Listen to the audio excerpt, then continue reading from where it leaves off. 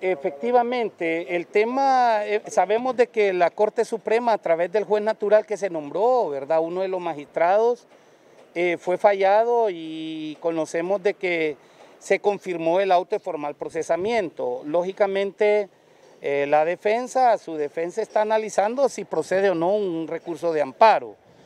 Em, obviamente no podemos pronunciarnos en mayor cosa porque no hemos tenido acceso a un expediente judicial, pero eh, asumimos pues que él tendrá que analizar, ¿verdad?, si efectivamente hará uso de esta garantía constitucional, que es el amparo, o por el contrario considerará que el proceso siga su curso para poder, eh, primero, que la Corte conforme se lleve a cabo la audiencia preliminar y se lleve a cabo pues eh, las eh, correspondientes audiencias ya nombrándole un tribunal de sentencias. En ese sentido, eh, recordemos de que este es un proceso penal en la cual se están evacuando estas audiencias y que será hasta que un tribunal de sentencia opine o manifieste si es culpable o no, que podremos hablar de que efectivamente se ha cometido un delito.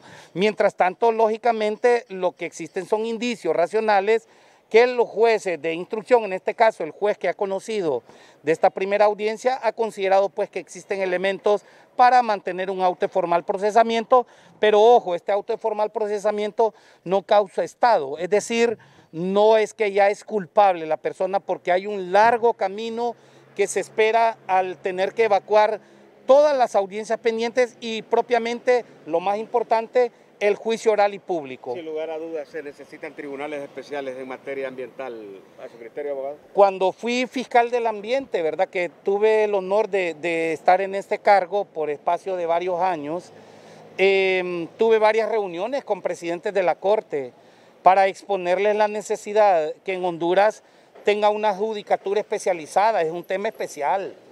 Y lamentablemente nunca fuimos escuchados en este punto.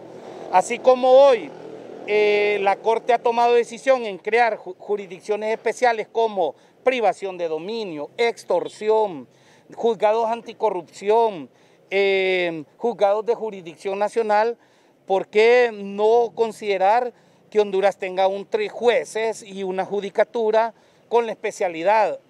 Ya lo tiene Costa Rica, ya lo tiene Argentina, lo tiene Brasil, lo tienen en México, es decir, otras eh, judicaturas de países latinoamericanos ya han tomado esa decisión.